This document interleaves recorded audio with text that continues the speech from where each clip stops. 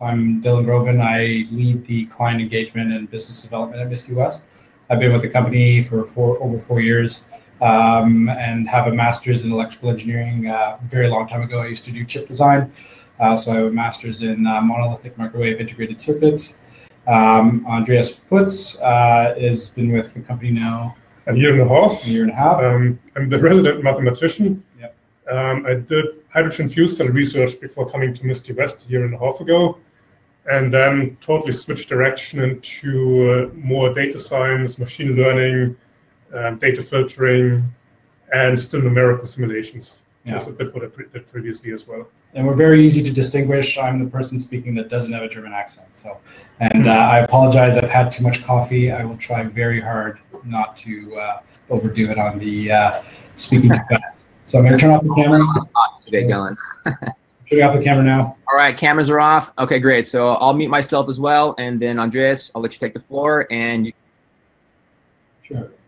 So uh, I'm just going to briefly introduce the table of contents. So I'm going to give a very quick uh, Misty West introduction, and then we'll jump right into the the presentation. Um, this is uh, myself and Andreas. These uh, contact details will be included in the presentation, which will be shared with you. Um, so very briefly, uh, Misty West, we call ourselves a, a research and engineering lab. Basically, we help uh, Fortune 500 companies, entrepreneurs and hardware startups, venture capital funds, targeted endowment funds, NGOs, and publicly funded uh, government research entities to solve big problems with breakthrough technology to meet today's most ambitious societal goals. We specifically target projects that have the potential for high impact. So whether it's improving the human condition, impacting sustainability in a positive way, or otherwise moving us collectively to uh, an inclusively abundant future. Uh, we found that a much better driver of uh, success in projects, especially for successful project outcomes, really places the common mission first, with revenue and profit secondary. Although not a registered uh, B Corp, we at Misty West do have a triple bottom line with people and planet coming first and profit third. Um, our team is composed of engineers, mathematicians, roboticists, physicists, scientists, and designers. One of our differentiators is that we are more heavily weighted towards core science research uh, and approaching difficult, uh, giving us the ability to uh, approach challenges from a first principles approach. Um, half of our team are engineering physics majors. Um, uh, and then we have people like Andreas, who have a PhD in mathematics. Uh, we have uh, material physicists on our team with 15 years of uh, lecture and research experience on material physics. Um, and what that means is that it's within our capability. If if uh, if you ever bumped into a project that required, you know, creating uh, totally novel material with novel optical properties, uh, for example, we could. That's within our our, our capability spec. Um, so uh, we we uh, we're lucky enough to poach uh, a researcher and ex-professor at a university um, who's able to build uh, reactors for novel uh, optical materials. So you know we, we can build things like that from scratch. Um, uh, all of our clients uh, and partners and, and everybody that we work with are even our vendor, vendors as well that we loop in. Uh, we all are, are mission driven to achieving exceptional outcomes. These are some of our collaborators uh, with some well-known names in there, as well as a mix of smaller companies and startups that we work with, and also uh, companies like the WWF, uh, uh, who are actually doing some work right now building a polar bear tracker for, which is a, a, a project very near and dear to our heart. So it's a satellite tracker for tracking polar bears. Um, uh, but we find a very good dynamic between the work we do with the you know leading teams at, at the large companies, taking this experience and knowledge and and, and and stuff that we we've learned and and, and helping uh, small companies level up as well.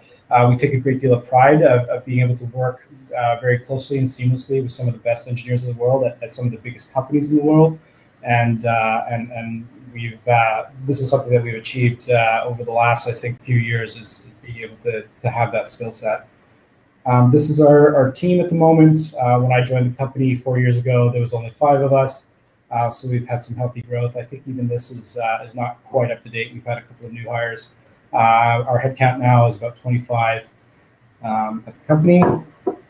Uh, these are the current uh, loose tech verticals that we work in. So things like VR, AR, uh, both things like 3D environment capture, as well as designing new VR AR peripherals, um, you know, heads-up displays, as well as controls. Uh, we're getting pulled into machine learning and AI just because of a lot of the machine vision work that we work on, uh, which is part of the discussion today. Uh, we work in IoT, uh, medical technology. We have a medical device currently in FDA research trials in the US at uh, LA Children's Hospital, as well as uh, a number of other research universities or um, research hospitals. sensor fusion, clean tech, optics, robotics, wearables, Bluetooth. These, these are sort of the the, the themes that we've been uh, addressing over the last year uh, to two years. Uh, these are just some of our client testimonials. Um, uh, so again, a, a, couple of final differentiators are that uh, you know we uh, we're really focused on um, transparency within our company, both internally and externally. Our internal culture is such that you know everybody at the company knows you know the company's financial situation. We know each other's salaries. Uh, we, you know, we, there's there's no kind of hidden pockets of information within the company, and that translates into a culture that we like to share with our with our clients. Um, our engagement model is very simple. We do either fixed or hourly uh, engagements, uh, depending on the, the, the, client need. And uh, our and also in terms of intellectual property, we keep things very simple in the sense that uh, our our par- partners and collaborators own the IP. So you know, we keep it dirt simple, but. Uh, without further ado, I'm going to pass it on to Andreas, who's going to get to the meat of the, uh, the presentation today. So thank you very much. Okay, thank you very much, Don. And I'm going to take you through a bit of machine learning on the edge and the infrastructure you need to apply machine learning on the edge. And interestingly enough, the answer of whether you should do machine learning on the edge is very simple, but has changed in the last couple of years significantly.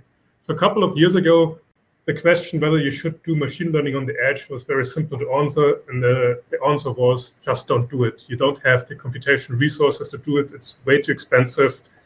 Uh, the way to do this, transfer all your data off your device to machine learning off the device, and then transfer the results back. Um, so I would say a year and a half ago or two years ago, with the new generation of the Raspberry Pis coming up, and specifically with the NVIDIA TX2 series, which have a dedicated machine learning chip on edge devices on small compute platforms, the answer has changed from that, that don't do it, to yes, you can do it, just don't train on the edge. So you basically would load training data in your normal machine learning environment. You load the training sets, you train the network, and you would load the trained network into edge devices. But now as the TX2s and some of the other, other platforms have become even stronger, you can actually now do some limited training on the device itself. And the way you typically do this, you add a pre-trained network onto the device, and then you have a cheap reinforcement learning uh, algorithm sitting on top of that, which gradually tries to update the weights. So in a sense, now the answer to machine learning on the edge is yes, do it. And it has been really simple to do because the packages are the same for all platforms. So whether you're ARM, CPU based, the machine learning packages actually don't change and the install procedure doesn't change. So the only challenge on the edge is how to integrate the infrastructure. And that's a pretty significant challenge.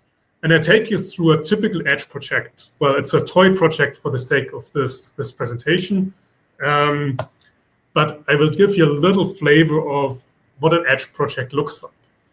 And you basically have a couple of components, or three or five components, depending whether you uh, how you count it.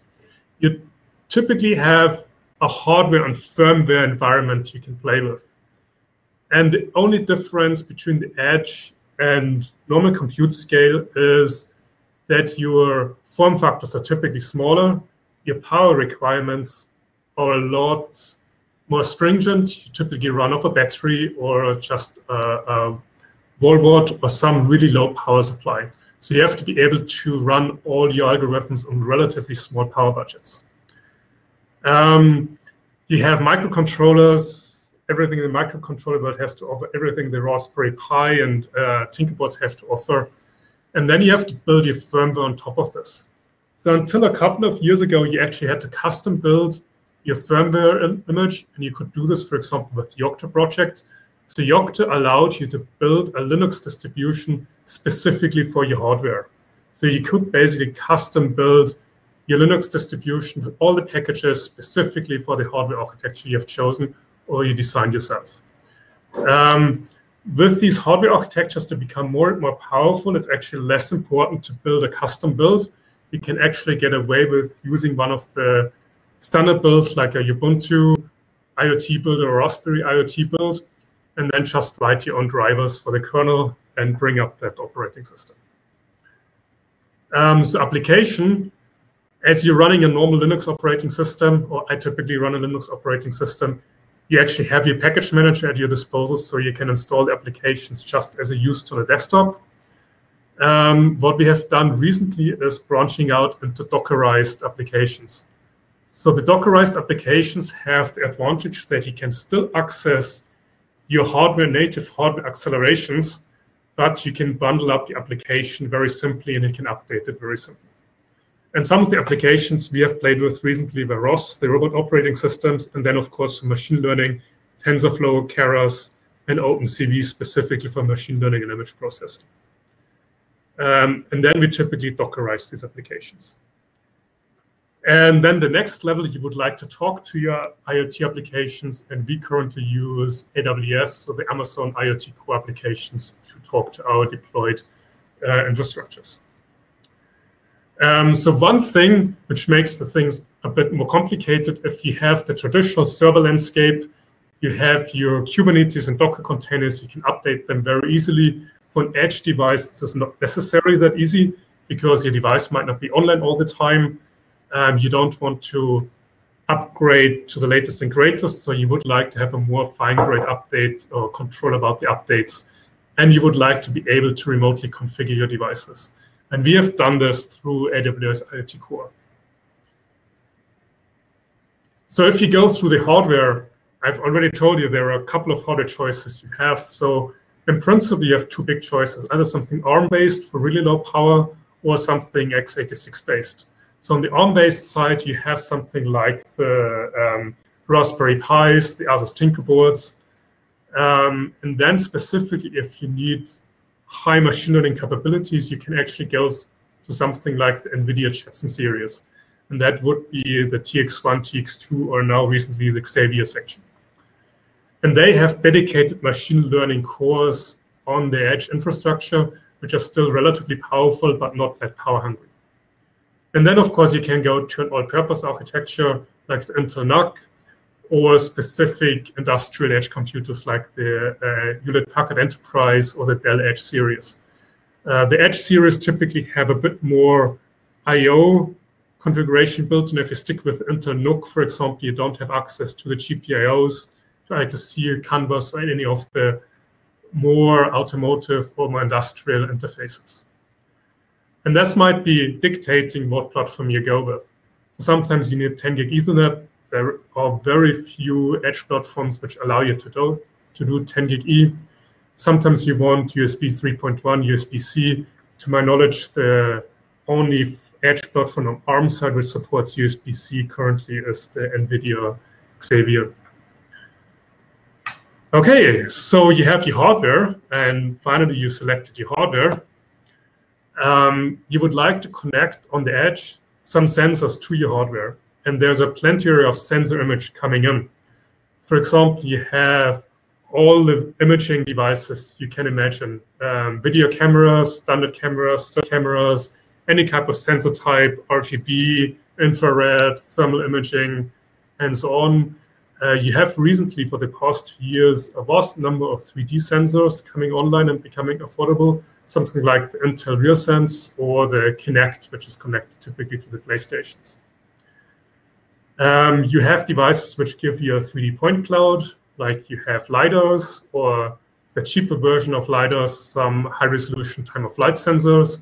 You can connect uh, GPS. Uh, you can connect real-time kinematic positioning sensors to it, some things like uh, RTK GPS for highly accurate accurate GPS measurements down to a centimeter or two, or you can collect uh, inertial measurement data through IMUs. And then a huge plethora of laser-based distance measurements. So you have a Doppler laser, you could have a sonar system, anything you can imagine you would like to put on a sensor platform or a small robot platform. And then if you're dealing with a robot, uh, you would like to control the robots. So typically you have to deal with an array of microcontrollers, such as the Arduino or a couple of other boards. You have to interface with servo drivers, motor drivers, and you have to worry about power management.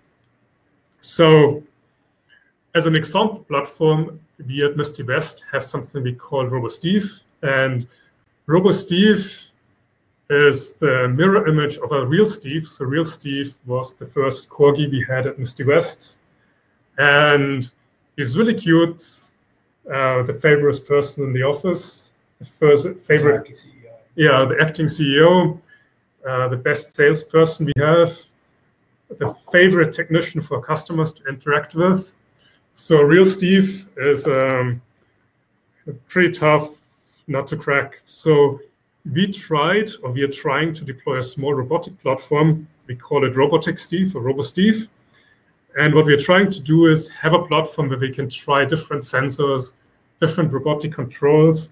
And in the end, we would like to emulate the real Steve a little bit. So this means our robot should behave a little bit like a dog, uh, greet people, react to people, uh, be a little playful thing to interact with. So we are way not there yet, but we have some of the basics.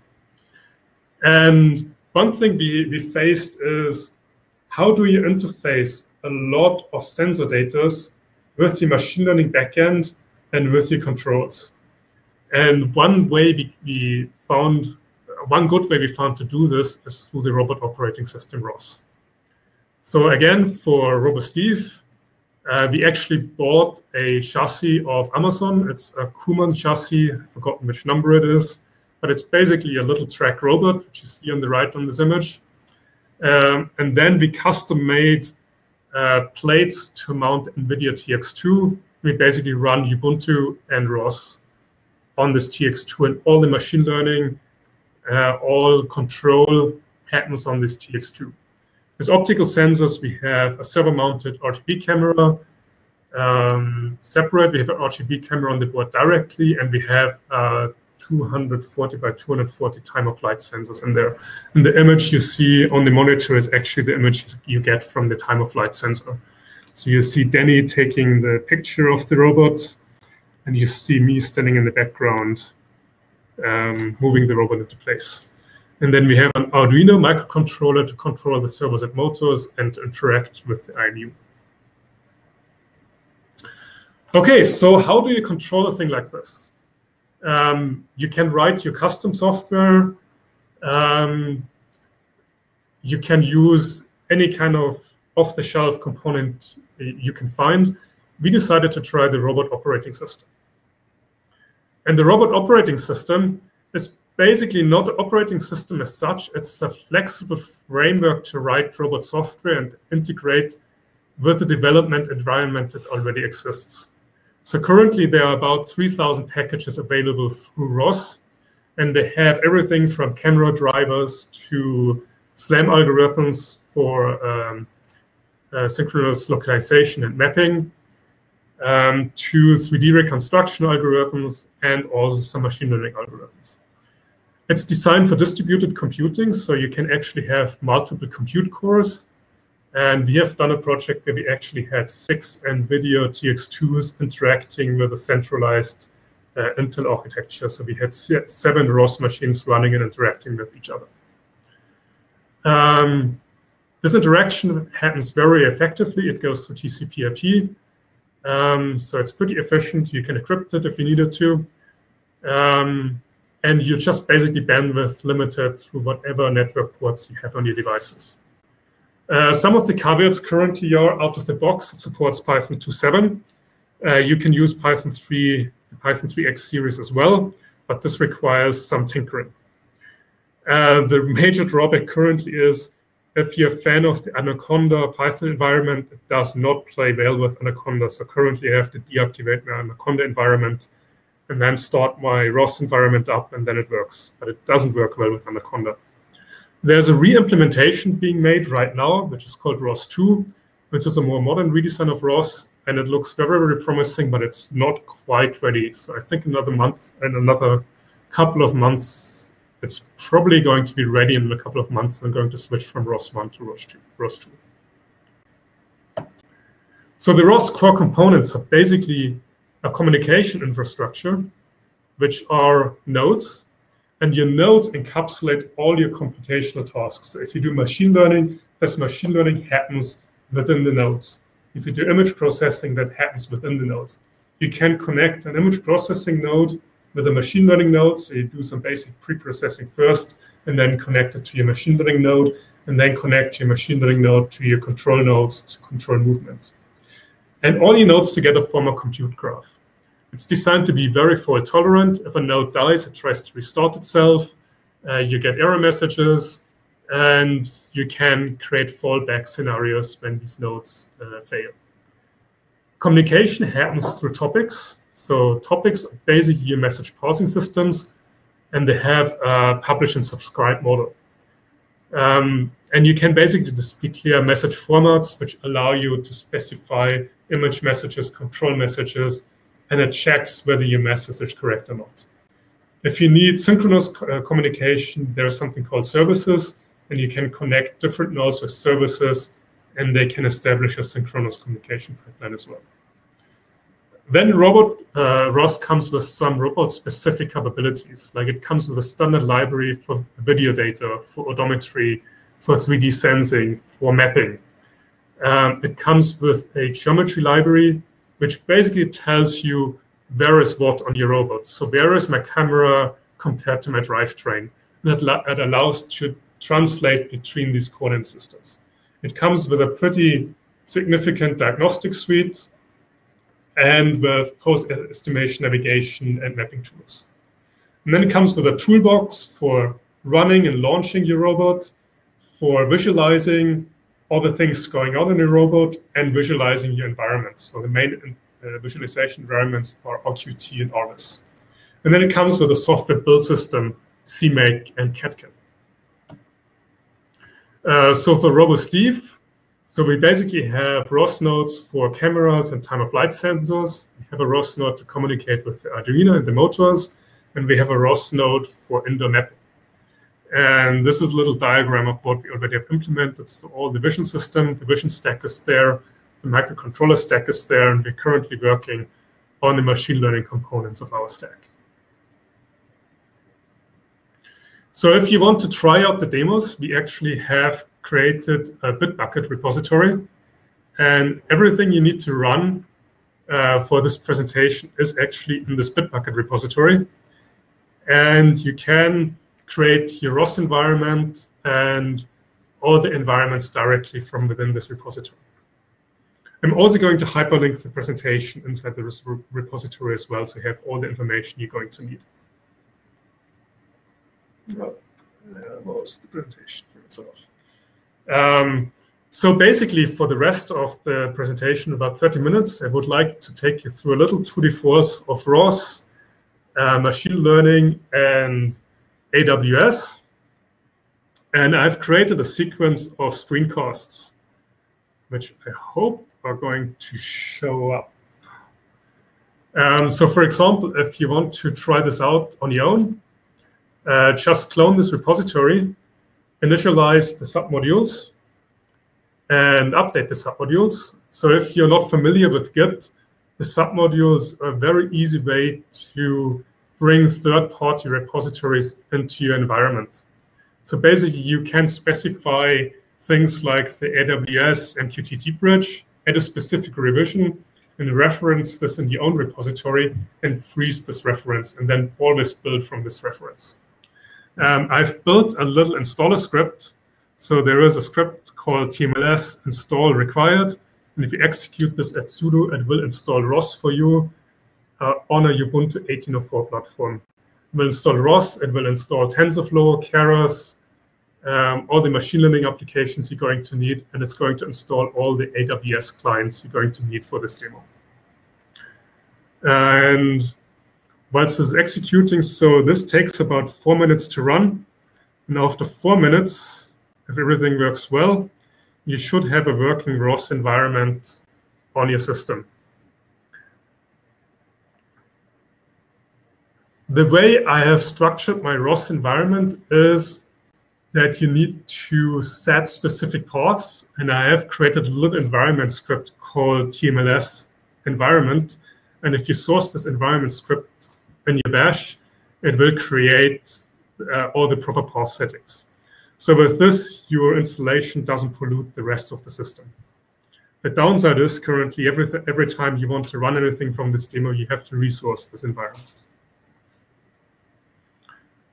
Okay, so ROS, I want to give you a little playful introduction to ROS. And the first thing people typically run on ROS is the turtle simulator. And the turtle simulator is a small little turtle you can move on the screen. So what I've done here is I source my TMLS environment. I start a ROS core. So the ROS core is the central computation process of ROS. And then in a new bash window, I run the turtle sim node. And the turtle sim node will bring up a little window with a little turtle in it. And the turtle will be static because we haven't connected any controls to it yet. So this should come up in a second. So you have your turtle simulator up and running, but the turtle is not moving. So in a new bash, again source the environment, and then I load um, I load desktop controls for the turtle. So I do a ROS run uh, turtle sim. I've forgotten the command right now, so I should remember this in a second. So the node is called uh, Turtle Sim, and it's Turtle Teleop. And that gives you a little keyboard which allows you to move your turtle around. So this looks pretty simple, uh, but it's actually the same process for every robot. This turtle is controlled by something called the twist message, which basically prescribes your three uh, linear motion directions plus the three angular momentum directions and this would be universal for every robot. So you can control any robot um, with the twist messages.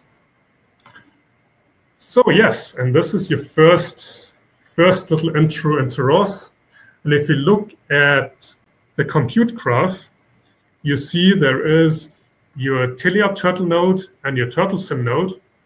And the teleoperations node is broadcasting uh, the command velocity to the turtle, sim uh, turtle simulator.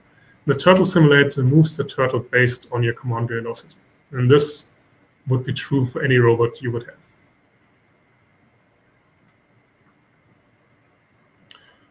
So this becomes pretty tedious if you first have to start the ROS core and then start all your nodes, make sure everything interacts correctly. You may have to start many, many bash shells to get everything running.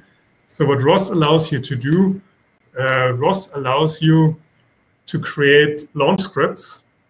And these launch scripts abstract the launch of many nodes and many interacting topics. So instead of having to go into each node and launch the node separately, you can write the sequence into launch script and then just launch uh, the launch script itself.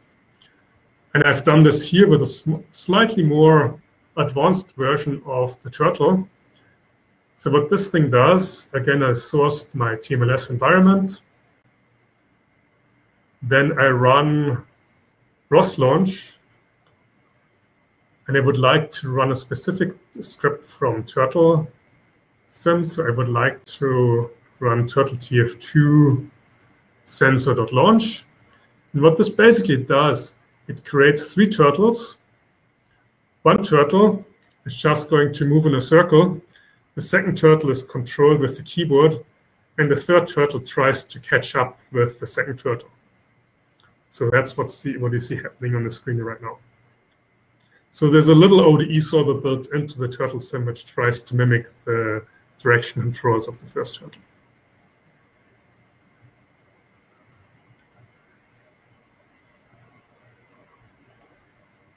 So if you look at the compute graph for this, the compute graph looks a tiny bit more complicated.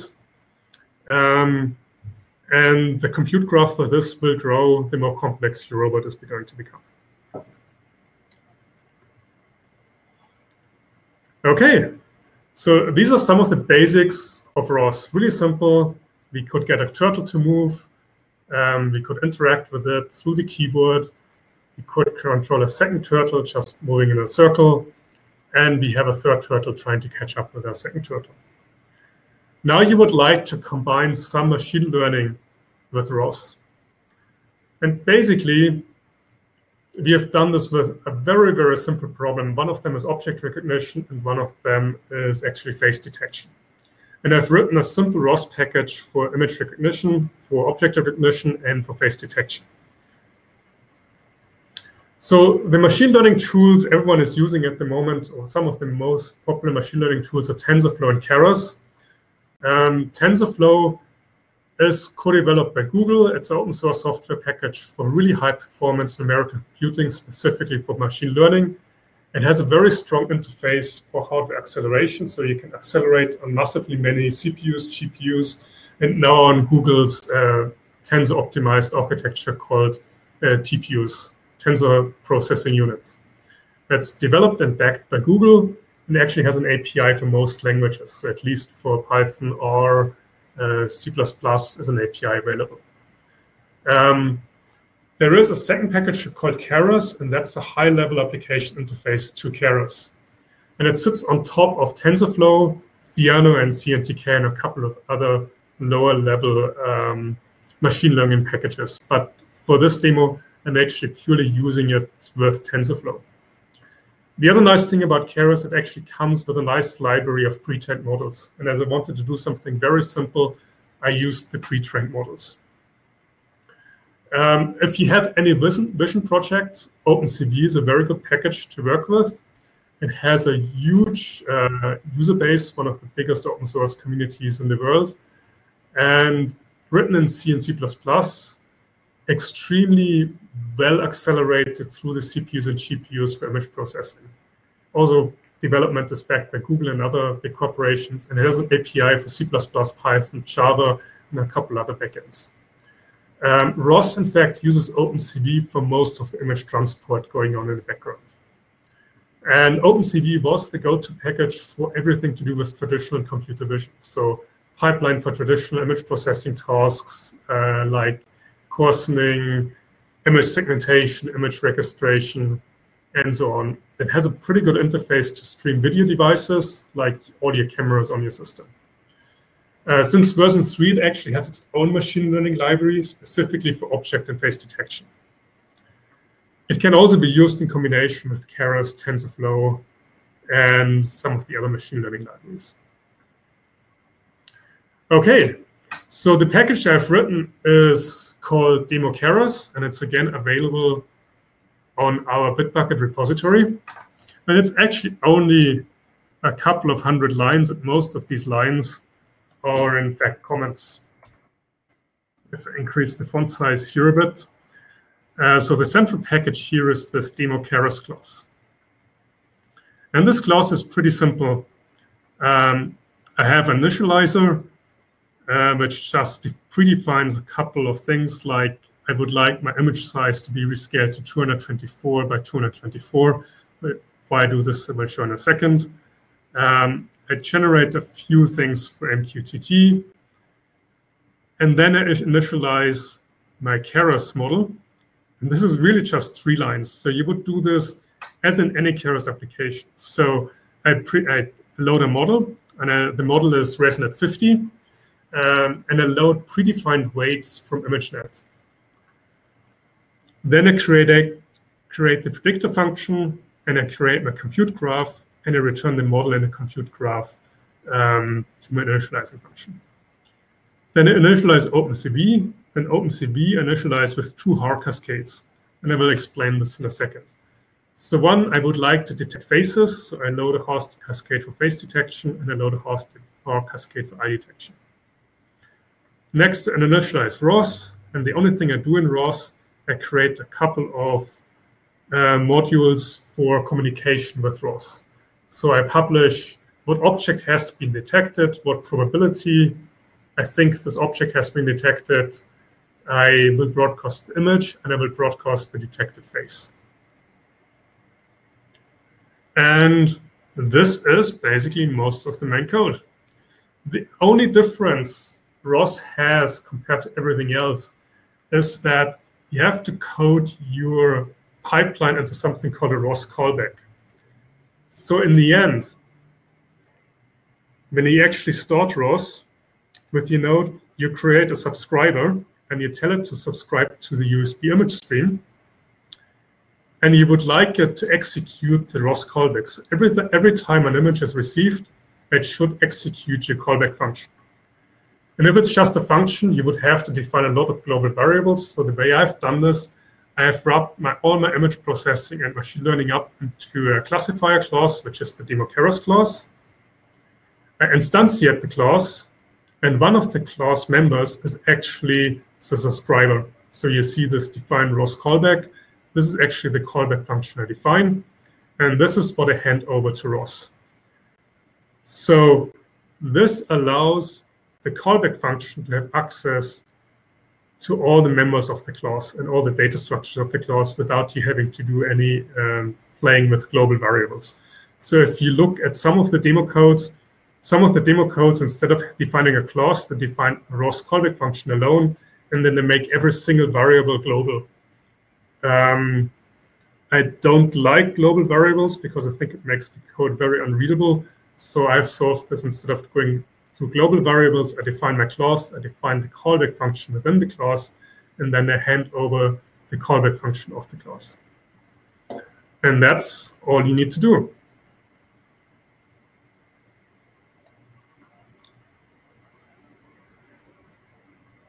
So now you have this code within your ROS build environment, and you need to build it. And ROS provides a package called Catkin, which allows you to build this environment.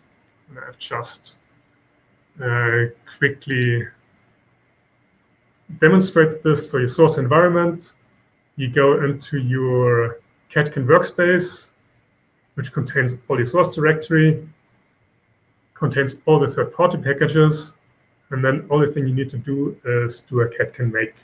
And we will do this in a second.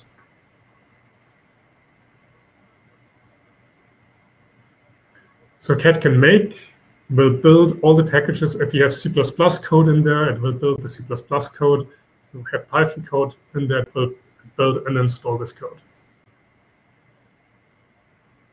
And now if you next source the TNL environment, you will see that the TMLS ROS sources have been found and they're available to your code.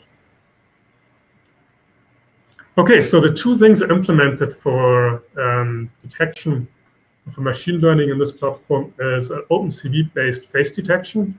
And what it basically did, I followed the tutorial on OpenCV. So it's a very, very simplistic detection of faces. What it basically does, it's looking for these kind of features. So it's looking for horizontal light dark transitions, for vertical light dark transitions called the edge features. It's looking for transition light dark light, horizontal or light dark light uh, vertical, or it's looking for kind of a chessboard-like pattern within this image. And when it finds this, it uses a machine learning-based algorithm to detect whether the sequence of these found edge features actually resemble a face or not. If it detects a face, it will actually start the second level. It will start the eye detection, and it will try to start detecting eyes uh, in my face. And I've coded this up briefly here. So you again, source your TMLS environment. Everything is already built. Um, you launch um, you launch the demo code. So you do a ROS launch, Demokeras, uh, Demokeras launch. And this now starts the image processing stream. So it will stream your webcam to the machine learning module.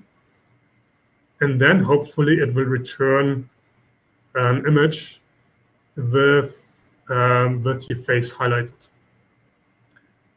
And if you use RQt, you can use the image view of RQt to use the CV face. And now you see my face sometimes being recognized. As I said, this is a very simplistic uh, machine learning algorithm for your face. And this runs on almost any platform, Raspberry Pi, um, even on a microcontroller. So it's a very, very cheap way to detect traffic. It's not the best way, but it's very cheap.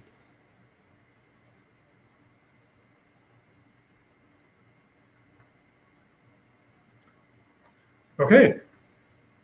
So with this, you have a very simple face recognition which runs on almost any platform.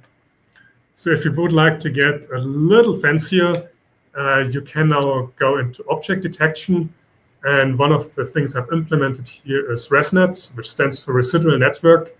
It's 50 layers deep. Um, and basically ResNet is this architecture on the top line. And it basically consists out of 34 connected layers, almost all of which are um, um, convolutional neural networks, except for the first and the last layer. The last layer is a fully connected thousand output layer, and that layer tries to map your image into thousand categories. So there are a thousand objects you could theoretically detect. The reason it's called uh, residual is because it tries to avoid your gradient for back propagation to become small.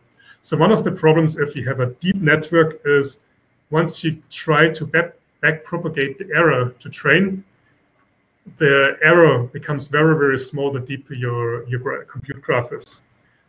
So with the residual network, you're actually bypassing some of these layers uh, with the identical transformation. And you basically make your network shorter and you can choose how much of the information flows into the convolutional neural network or how much flows into the bypass layer. Um, and with that, you can control how much of your gradient in the back propagation is going to survive. This is very simplistically put how the uh, ResNet works. And I'm using pre-trained weights from ImageNet. And if you run this again,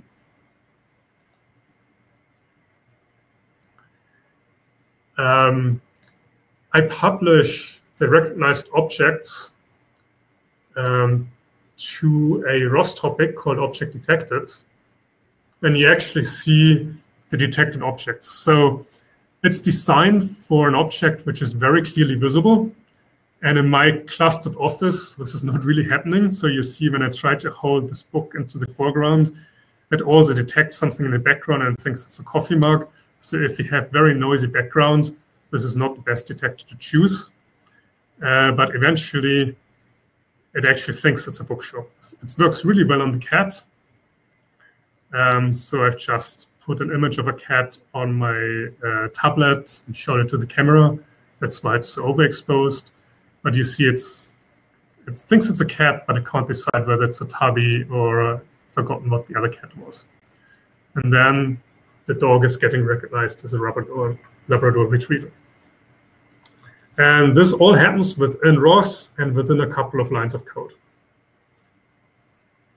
So the last 10 minutes, and I've taken more time on ROS than I than I was hoping to.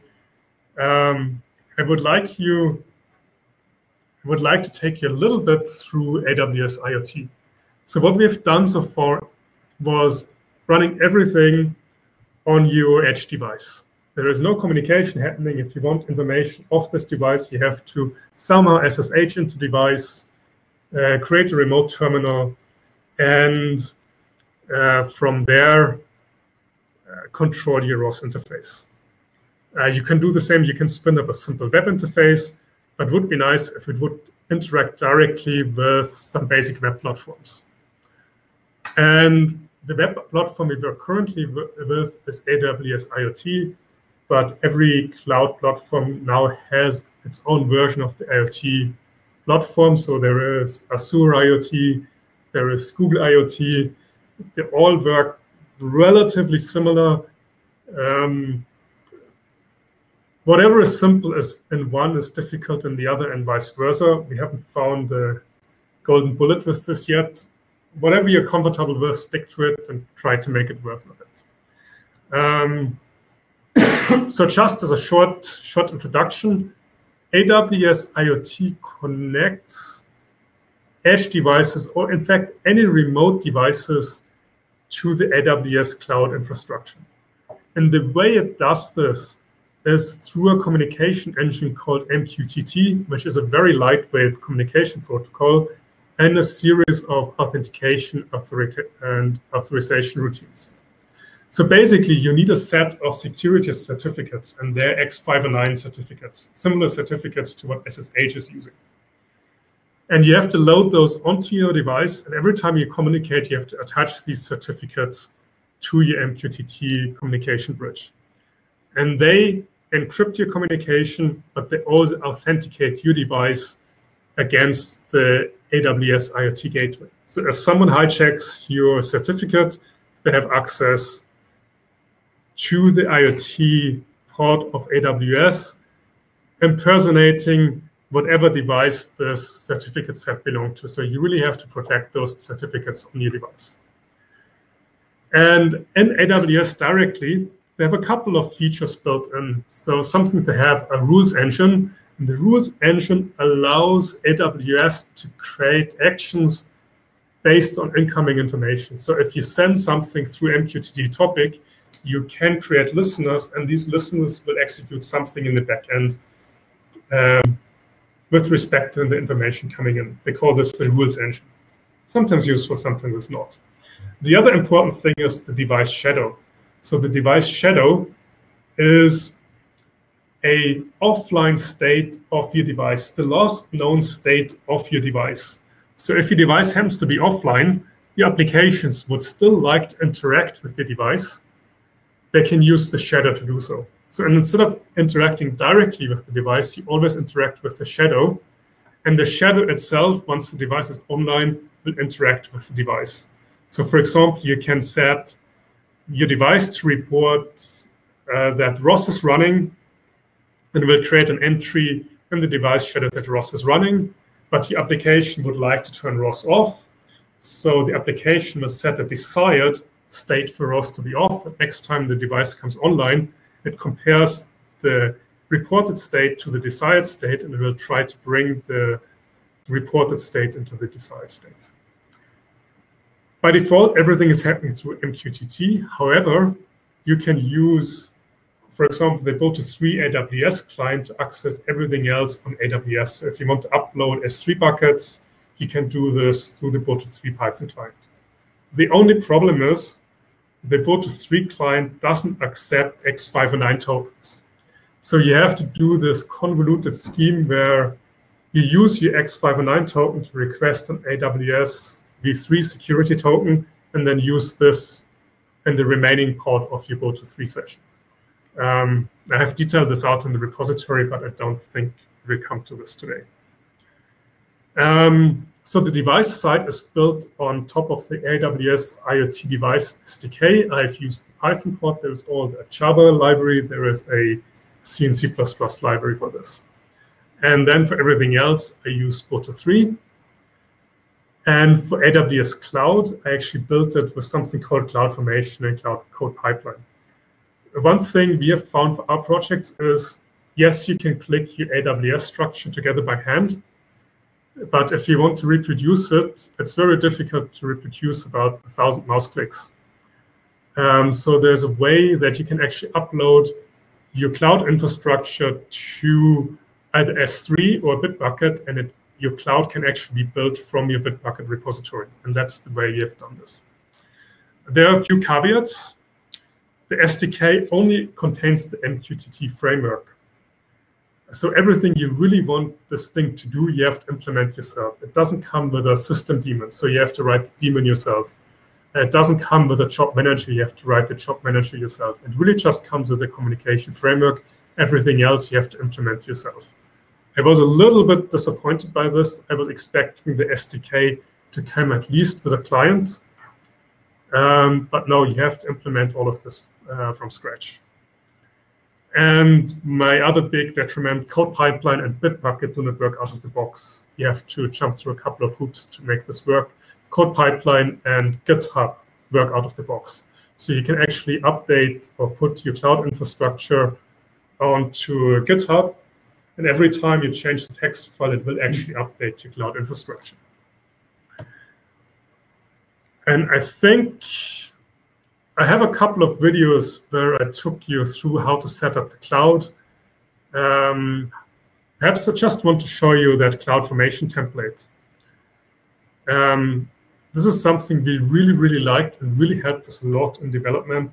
and it's basically a procedural design of your AWS environment.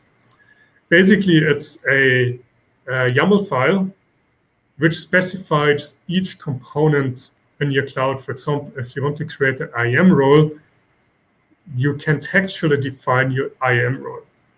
You can even create this from point and click. There is a Firefox plugin which records the template whilst you click your environment together. And this is really, really helpful. And what you can do now, you can zip your template, you upload it to an S3 bucket, and then create a pipeline which reads the S3 bucket and creates your AWS instance from this S3 bucket. And everything gets created automatically. Really, really nice, really, really convenient, relatively hassle-free. Every time you update your zip file, it will actually look at the delta of your current cloud instance and your previous cloud instance, and will update your AWS environment accordingly. If you have GitHub linked, every time you push to this branch, it will update your cloud instance. This was really a lifesaver for us. It allows to, uh, to deploy virtual identical environments very, very quickly. And if you set all this up, I just want to take away one last video. If you get this, all of this running, you can actually broadcast your ROS topics to AWS Cloud. And this is what I've done in this little demo. So I start my object detection algorithm again. And then I connect it with two commands to the AWS Cloud interface. I republish the topic to the topic which gets published to AWS. And then I check out my AWS IoT environment. I look at my device and you see in the right-hand side in the shadow state that it shows the Keras objects. It detects a modem, a binder, oscilloscope with a certain probability in the background. So you can send, I've sent the detected objects up to AWS Cloud, but in principle, you can send any type of information to your AWS backend, and you can send this information back to your ROS environment as well. And this is a really, really nice and simple way, relatively simple way to communicate safely with your ROS instance through AWS. And this, I think this is all the time I have.